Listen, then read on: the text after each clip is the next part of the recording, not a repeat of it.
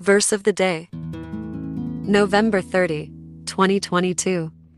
But let judgment run down as waters, and righteousness as a mighty stream. Amos chapter 5, verse 24. Inspiration All our words and praises are but nothing if not backed up by the content of our character, of walking through this life upright in the Word of God, showing those around us respect and compassion. God isn't interested in lip service, for his powers raining down on us from above. His righteousness awaits those who decide it's time to truly become what we preach. Let us pray.